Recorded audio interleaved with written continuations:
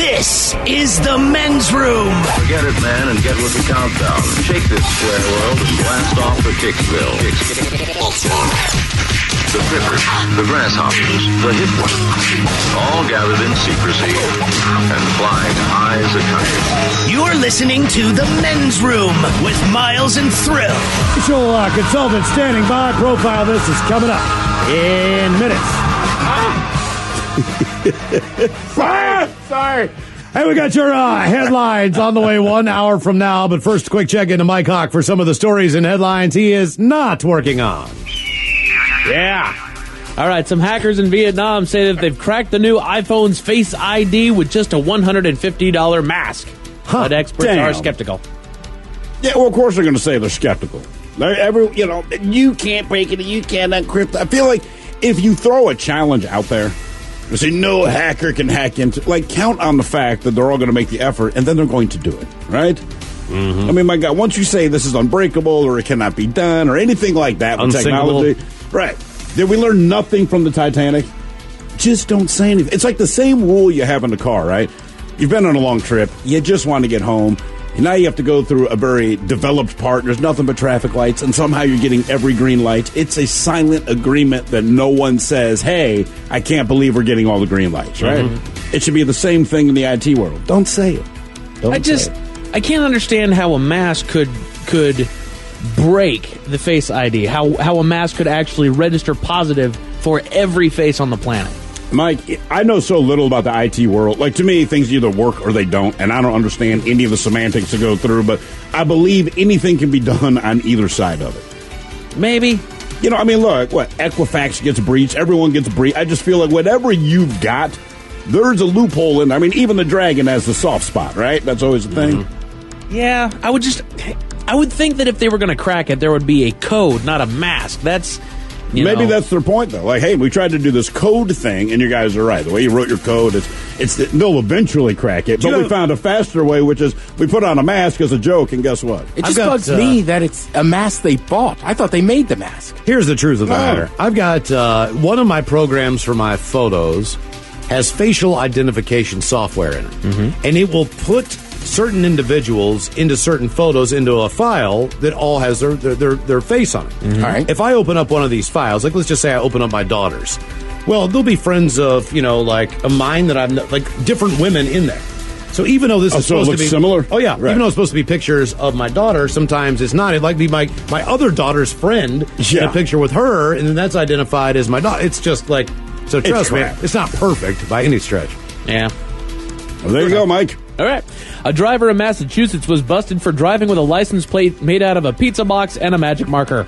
Did you see it? No. it, it's it's better than I thought it would be, but it's still so pathetic. So I imagine like the brown cardboard pizza box. Sure. they did at least use a white pizza box, and none of the pizza logo was showing. But there's a few things. It's in Massachusetts, and Massachusetts is hard to spell. But if you have not a spell it wrong. no, you didn't spell it wrong. They gave up. It just says Mass. Oh, Lord. it may- seriously, Oh, boy. that's one. And then you know on any license plate, when you look at the number two, like when you write the number two, some people kind of do the hoop on the bottom. Mm-hmm. Well, on license, License plate, plates, yeah. right? It's like a typewriter two. So this dude did two loops for the twos. It says mass, and it doesn't look like a pizza box, but it does not look like a license plate. Dang, man. It didn't even make an effort. It's cardboard and magic marker. I want to know how long he survived on it, though. I'm saying that was. The I mean, a couple second day days, he's Mike. on It's pizza. Thank you, Ted. the- He's here for you. A Chipotle worker in New York recognized a customer as the guy who'd robbed her uh, robbed her house six months ago. Oh damn! And now the police have his picture and they're looking for him. See, that's what happens. Damn. You're gonna rob stuff. Don't go out so much. Uh, look, not only that, but I mean, if that's your game, it just seems anymore that every person out there seems to have some type of monitoring device in their home, some Yeah. type of camera system, something like that. So, I, you know, that, I think that game is changing a little bit for people. At least wear a mask. Yeah. I mean, Jesus Christ, man. Yeah, man. Respect the game. Yeah. Wouldn't you think that authorities would have a picture of him from the robbery, though? They might. I mean, they might, but the thing is, now she can match it up and say, hmm. this is the guy. Maybe he paid with a credit card. I mean, who knows? Oh, there you go. True enough. Same jacket, something. True enough. or is her jacket? Two sets of police officers in Detroit wound up brawling with each other after an undercover operation went completely wrong. I understand. I didn't read the whole story. My understanding is that The cops who are there to make a bust get in a fight with each other. Yep. The homeowner who's there to be busted, like, just stood by and watched, like, fellas. Two different two different authorities uh, Yeah. were working on this one case. And got into a fist. Two different and they, precincts. And they Yeah. ended up getting there at the exact same time. They did the exact same thing drug dealers did. They got into a turf war. They did over whose uh, whose bust Whose that was penis going is to be bigger, right. Exactly. And meanwhile, the homeowner's like, cool. I'm running of, away. those, one of those cops went to the hospital because another cop put him in the hospital. You think they press charges? Yeah. Right? No. I mean, you know about the thin blue line, and I get it if I'm not a cop, I want to press charges, but if it's cop on cop, and it's a big, you know, penis-sized competition they got going on, I'm thinking if you're a cop, knowing as much as you do about the paperwork, the court system, I'd be like, it's all you. that crap. Like, look, dude, All I- you, bro. Like, yeah, we're, we're, we're good. Yeah, It's- let's it's go. Let's just let's just call it a day and go home. I'd be like, you, you got this. All right, yeah, exactly. You got to go You to gotta court, you got to fill out paperwork. No big deal. I'm not saying I'm lazy, but I'm lazy. Right. Do you think this is the first time that those two precincts have gone at each other? Uh, obviously, there's got to be some Probably tension not. there. Right? There's got to be some sort of a build up there. Well, also too, like you got to keep in mind the area they're in. They're working narcotics and this and that. Like I was telling, like like they're- that's just a thin line between cop and criminal. Right. So Yeah. after a while, you work that many cases and you work with the that kind of criminal element. I think you start taking some of that persona on. How could you not, man? Everyone Yeah. you deal with is basically a jackass, right? There's So, not man, that much crime in Detroit, is there? Not a ton. A man. By the way, I have to say, the one eyewitness, he was like, they, they should communicate better. I was thinking about this. you got drug dealers going, man, you guys, seriously. Like, I know what the communication was. We got him. You all stay home. We got this one, and it was repeated on the other side as well. If I'm the drug dealer, I'm like, hey, you guys take as long as you need to sort this out. Just, you know what? Give it some time. A man tried to hunt for a natural gas leak. Oh Lord. Ted, have you heard this one? No, I'm just assuming if you're telling me he used a lighter. He used a match. Uh, he used a match for light, and Oh, uh, no. what do you know? He wound up in the hospital with burns. Yeah, it ended exactly the way it should have ended. God. I gotta Mike. find this gas leak. Well, he found it, Mike. I can smell it. Dumbass. Uh, losing a pet is as painful emotionally as a divorce, and even worse than being fired or having a friend move, according to a new survey. It's worse than a hmm. divorce. It's a death. a divorce is something that you have chosen to do. The death of your pet, unless you killed it, is not something that. There's there's a reason why people relate pets to family members is because at least with a friend, friends go home after a while. You know that you don't have to spend 24 hours a day, 7 days a week with a friend, but a pet is with you all the time. So it really is a family member. It is. So you're losing a family member there. Did your cat poop or pee in the house last night? yes. Both. Both. Did you I- not clean the litter box out? I, I did. Was it dirty? No. Okay, I don't know what happened there. Yeah. cat doesn't like it. Where did, I- where, where did he Where did he poop? She was she pooed on the on the bed. She pooped on your bed. Where did she pee? She peed on the bed. Ah! But she did. I think there was some confusion there. No, no, there was There- not. th- we had a dog over on the weekend. She Yeah. was she was meeting my girlfriend's dog, uh huh. and I think it kind of twisted her up a little bit. And, and I moved her litter box into my bedroom for the weekend there, so she could have her own little safe haven. Yeah, she's but then it's I moved now. it back after the dog went home. And then, and I think it just confused her. I think she was like, I, "Okay, this is where I pee now." And then she was like, "Wait a minute, where's my box?" Mike, she was mad at you. yeah, she might have It's a been. cat. Right. She was Cat not giving. me. She's like, "F You you." brought chaos into the home. Yeah. Dead, I guess. Damn it! Here's my stool. Finally, but she she looked remorseful for it. She, wasn't. She, wasn't. mewed. She mewed like I'm sorry. Moving She's on. laughing to her cat friends, not going. He thinks I feel bad. And police in Manchester found a man accused of DUI in an interesting location. I'll tell you all about it one hour from now. Thank you, Mike Hawk. Headlines are on the way one hour from now. First, the game is uh, The men's room presents Profile And This. Stephen Throwhill, could you please tell everyone how Profile This is played? I sure can, Miles. This is a simple game where we share with you a real life news story, something that happened right here on planet Earth. Earth, Earth, Earth, Earth, Earth. And as you listen to the story, based on the stereotypes you believe to be true of people and the decisions that people make, we'll ask you what it is you think makes the story a story. Hello, Kaylee. Welcome to the men's room. Hola. All right, Kaylee, you understand how this here game is played? Yeah. All right, here's your story. This is a real uplifting one. A man tried to escape after being locked in a bedroom to await police by the alleged victim's parents. So a man fell to his death as he attempted to escape through a fourth story window after he was caught molesting a six year old boy.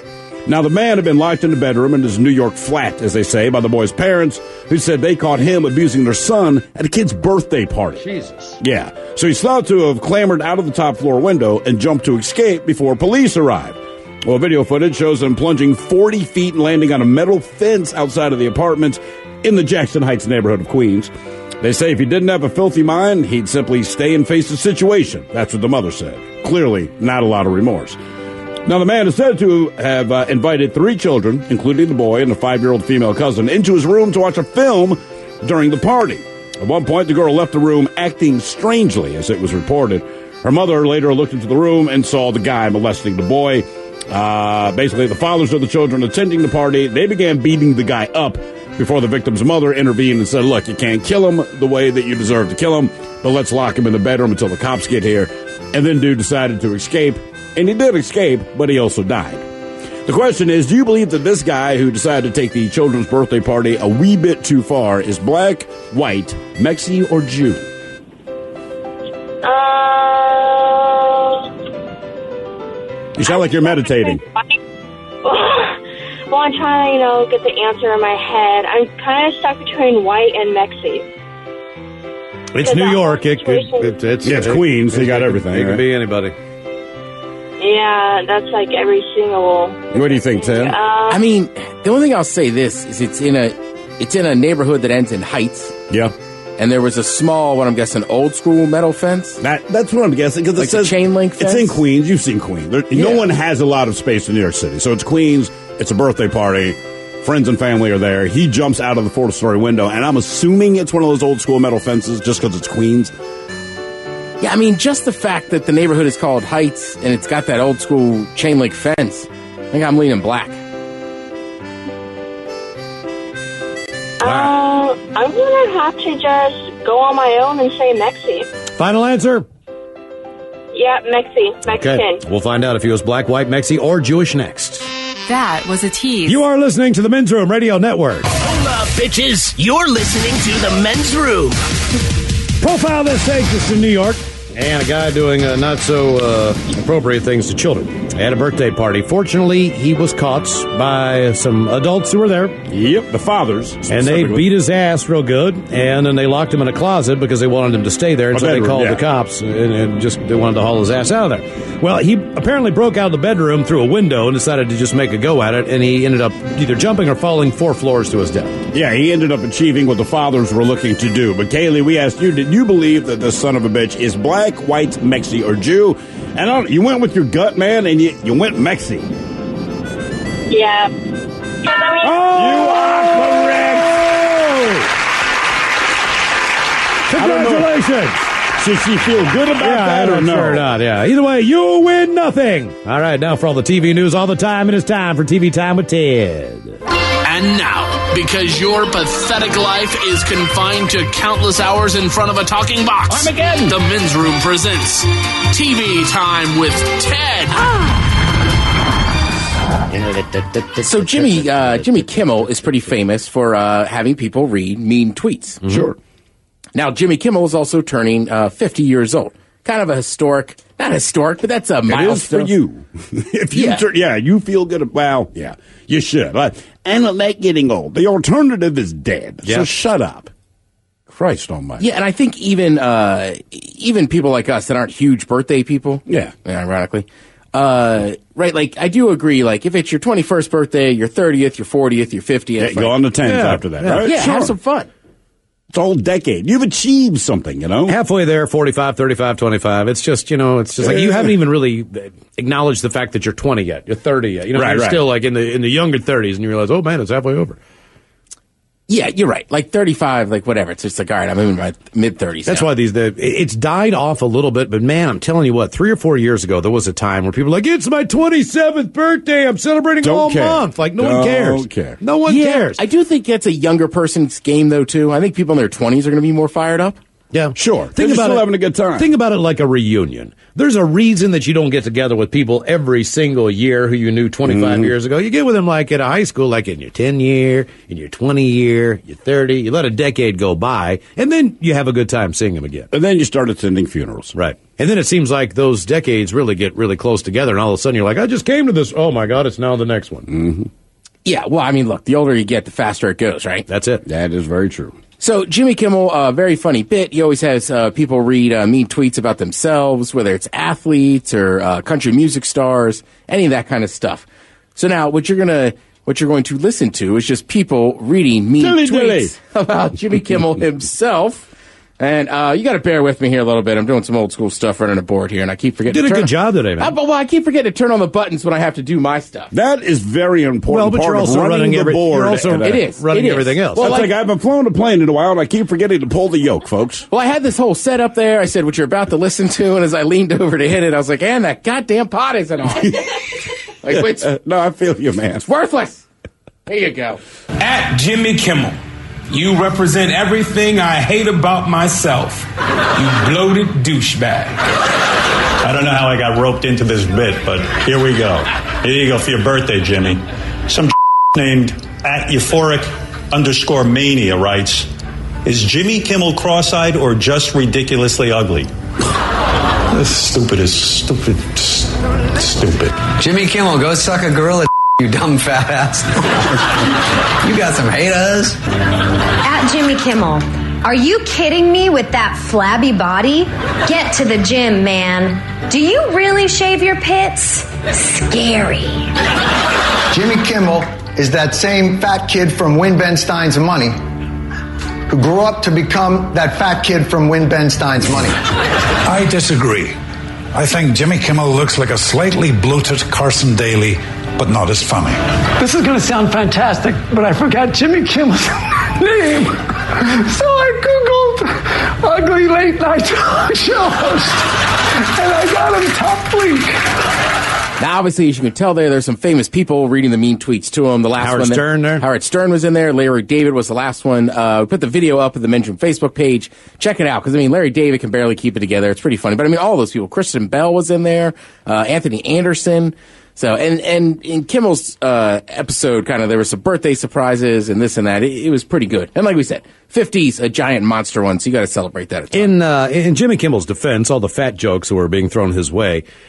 To me, he looks as good as he's ever looked. He looks slim. He looks like he's in shape. But is that a compliment? Well, I think, and I'm Yeah, no, I, think, I, think, I I don't think- know. no, I think he looks good. I, I really don't No, I think, think that, that's part of the jokes, though. Is that right? He's in the best shape of his life now. Okay, okay, yeah. I kind of Yeah. thought, like, why are people bashing on his weight? I mean, how, Dude. how far do you got to go back on it? People bash everything. Yeah, they- I mean, you Oh, go trust through me, I'm on. Twitter. I got it's like it's all right, dude. You just, it's like whatever. You're fine. I'm fine. You're fine. Yeah, he used to be right back in the day. He had a little chub on him. So now, so now, Back to the micro penis. Uh-huh. yes, I have. Uh, so right, they're just giving him hell about that. Plus, also like sometimes with Jimmy Kimmel, even for somebody like me who's obviously a TV expert, I just forget how many damn shows he's been on. Like I, I forgot about Win Ben Stein's Money, like the Was Man Show. on? Yeah, I remember was- the Man Show. I remember on Win that. Ben Stein's Money, he was like the guy on the side, the kind of he was like the sidekick or whatever. He's been hustling to give that guy. I want to say he started in radio with Carolla, right? Jesus Christ, dude. Yes. The, the story is famous. There's a guy in Seattle, all right? Okay. And he was, I, I guess he was the program director at KZOK. Okay. I think that's the station that Kimmel was on. And so, uh, so Kimmel was on doing a night show there. And he was on for however many months he was on. And the guy who was the program director fires Kimmel and says he doesn't get his show. He doesn't understand it. He, he can't figure it out. Like this is the dumbest thing. Is it sound familiar? Yeah, I was gonna say, I've- I've so been they, there. so he fires Kimmel, and Kimmel then goes back down to L.A. and then ends up doing radio. Uh, continues to do radio. Then uh, then gets on the Man Show, and then all this stuff blows up. And the reason it blew up is because some idiot in Seattle fired his ass. And he went back to L.A. So this guy is known as the ja- in Seattle as the jackass that fired Jimmy Kimmel. But really, what he did was he kind of helped start launch his career by him having to move back to L.A. Sure. I mean, you don't know Yeah. that at the time, but yeah. Yeah, it is kind of crazy, but yeah, I mean, But here's Kimmel's been hustling. You're trying to judge someone based on their talent. So that means that they have potential talent, they have future talent. It's like somebody who's going to draft a 17 year old kid playing high school baseball. Yeah, but you can't Your- take it your- personally. Man, your- you no, but your know how assump- these your- guys yeah, are. Yeah, but your assumption is is that you know what I mean. Like I'm banking on this guy based on his abilities. So the reason that it's such a slam is because like he was putting on a pretty good radio show. This guy just couldn't judge talent. So yeah, his but job, Yeah, but everybody, there. everybody, like, look at any GM or whatever. Even, even the best ja- uh, talent, talent judgers, even the best people that have those jobs, like, you're always going to miss on a few. Sure. They, You know what I mean? they miss on a few. And sometimes, and we've I all mean, Michael Jordan was not the number one pick. Yeah, think No, about that. No, no, you're right. We've all had that Sam experience Bowie? where you're sitting in a room and you know you're the smartest guy in the room. Not because you're smart, but because the people you're talking to are stupid. And they might be an authority. And, and my thought is always this. Through- Without them being aware, you can manipulate them into doing exactly what it is you need to do to help yourself out. You go like, okay, dummy, mm-hmm. no worries. I'm not even going to sweat this. And then the next day you get them to do what you want them to do with them thinking it's their idea. That's basically the. the I mean, that's right. it. That it's got, is- it's got to come from them. Right. That is as long as they think they came up with the idea, you are good to go. Right? Yeah. Isn't that true? Man, play to someone's ego and you got them in their hands. Well, and trust me, Miles, I'm with you. I think obviously in retrospect that looks kind of foolish, but I also think, eh, He didn't know it. you're gonna right. You're gonna be hit or miss. And, and, I. We know how this industry works. Yeah, yeah, yeah. Hey, man, we've been fired a couple times and we are not on late night TV. So right No, now, and that's the difference. They're looking pretty That's good. the difference. You It's know like- what I'm saying? it's like when you he's fall the to that- I mean, man. that's- I mean, like, that's a I have different been level. fired and You're I a- have not You're one of the most popular TV show hosts on television right now. There's a different level there where you go like that guy doesn't have talent. It's different if you like like bust a local news guy and he gets a job in another town. All right, he's still good enough. Yeah, for lateral but I mean, moves but are come nothing, on. but- this is yeah. a kind of a bigger deal than that.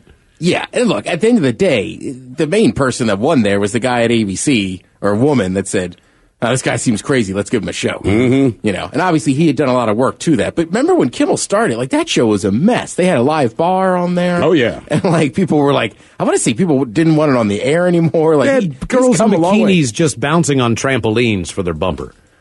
Well, that was a man show. Well, man, that's another right, one. Yeah, right. Yeah, ziggy zaggy, ziggy zaggy. Oi, oi, oi. Yeah, that guy could drink some beers. All right. Uh, so we we've talked about this a little bit. There's a, a player for the Boston Red Sox, right, named Mookie Betts. Black. So we sent that in earlier. We're in a Mookie conversation. Now uh, he's famous because he's also a very good bowler. Do you guys think of bowling as an exciting sport? To watch? No. You know, man, I've seen a couple videos. There was a guy who bowled three 300 games in a row, which is as good as you're going to see. Uh, But that's not the question. I don't think NASCAR is exciting to watch. If you show me the highlights on ESPN, they're going to show the explosions. Here's They're going to thing show the fit. Then it is exciting. Bowling. If I said like, begin, we don't know if anyone's going to bowl a perfect game. Are we going to sit here and watch it? Absolutely not. I I, I watch, I watch a little bowling. I have don't some mind it. examples for Yeah. you. So let's just take a look at the uh, examples of the excitement level from him bowling and from his day job. So first, he's bowled a perfect game, right? Mm-hmm. Should be real fired up. Yeah, hell, hell yeah. Boston Red Sox outfielder Mookie Betts on the precipice of perfection. 300 game for Mookie Betts. Yeah. Okay. All right. That's a perfect game. Let's check in with his day job where he catches a ball to rob a home run. Davis hits one high and deep to right field. Back goes Betts at the wall. He leaps. Did he get it? He did! Unbelievable catch by Mookie Betts. Brings it back in. Robs Davis and ends the game all in one. Are you trying to tell me, Ted Smith, that the Boston Red Sox are a bigger thing than professional bowling? I just couldn't get over how boring that guy's call was. That was terrible. Right, like if you're ever game. right, if you're ever right, like sorry, like there should be a little So more it's a perfect game. God damn, man. Well, they do have all these broadcasters who just ran like, "Can you do ping pong?" Like, I'll give it a shot. But still, if you could tell me, like, hey, man, he had the, the perfect ping pong game, whatever that is. The setup would be. better. Congratulations to whoever the hell it is, probably from China, had the perfect ping pong game. yeah, I want to say uh, Taiwan is very good at uh, ping pong too. Really? See, look, the Asian, if you watch these guys play, like if we play ping pong, we are, our hips are basically touching the table, right?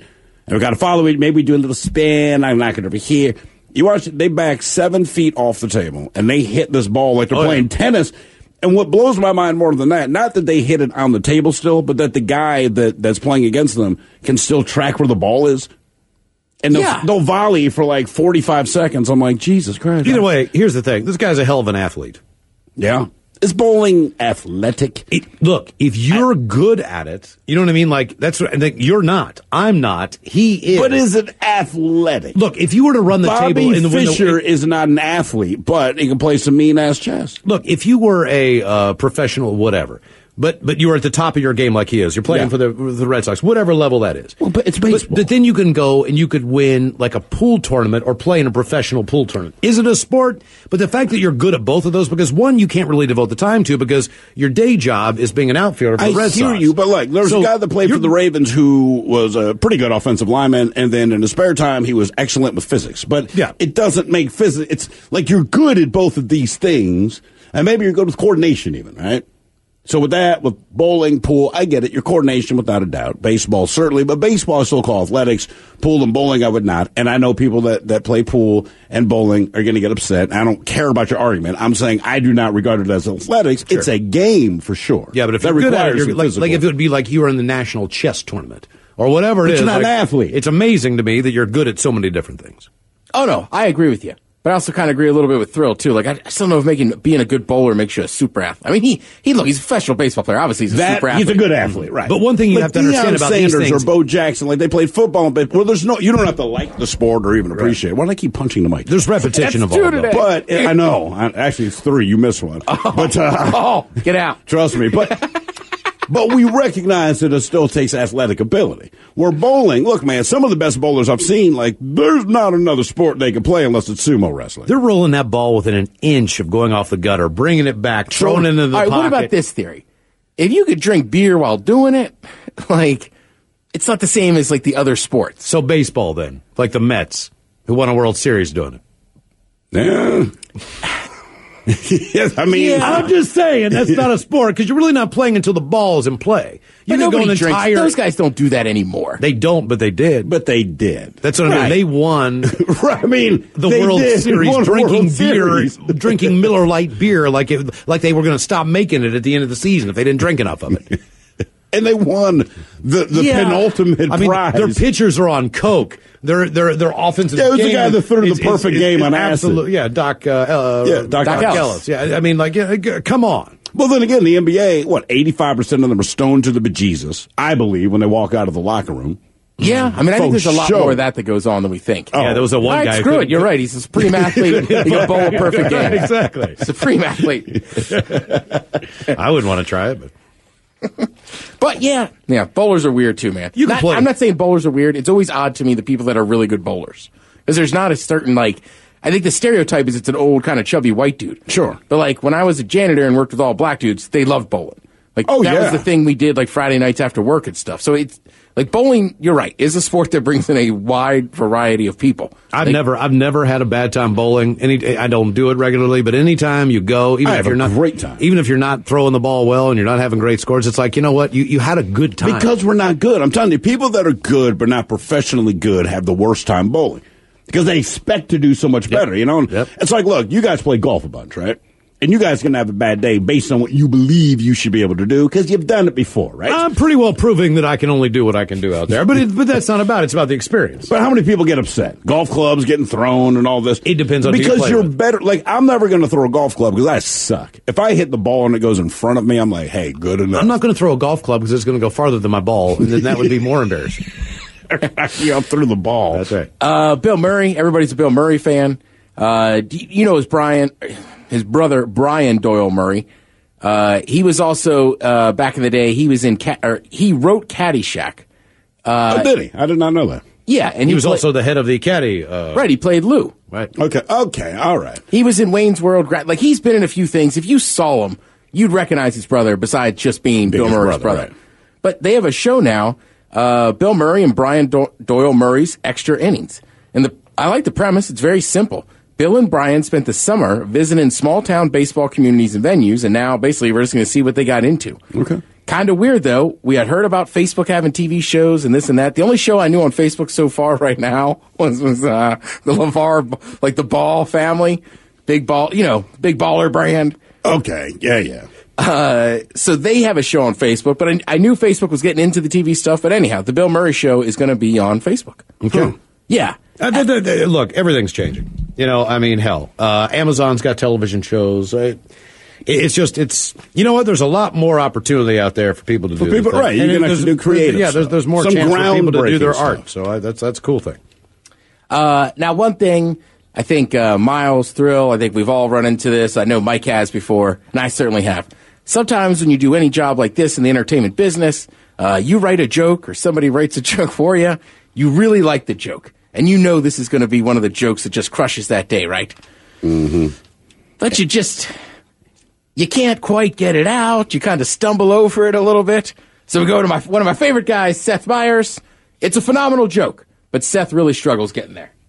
A man in Idaho, known by authorities as the Sushi Bandit, was recently arrested after multiple dine and dash incidents at Asian restaurants in the area. But he claims his innocent. Sorry. this joke is so good, I got excited. All right, you remember. Uh, dine and dash, Sushi Bandit. Okay, here we go, here we go, here we go. You guys remember, here we go. But he claims he's innocent. And said they'll sashimi in court. Jesus Christ. Right? I mean, I a don't. long way to home. It is, but I don't know that I blame him because sashimi in court is so stupid. But I was like, that's a damn good show. It is pretty funny. Well, Take it, Chad. We've got uh, your headlines on the way with Mike Hawk coming up in minutes. You are listening to the Men's Room Radio Network. The men's room returns with Miles and Thrill. Now, let's see what's happening in the real world. All right, here we go. Netflix admits that uh, 7% of people watching are also dropping a hoop snake. Delivery, ri- Delivery arrives at space station with delicious ice cream and pizza, a la take and bake. British doctor goes surfing for first time in Australia and is immediately attacked by a great white shark. A man is busted for DUI. He runs home, jumps under the covers, and acts like he's sleeping like a lark. And a horse uh, kicks a car in Brazil. The police throw the horse in jail. It is time for your headlines.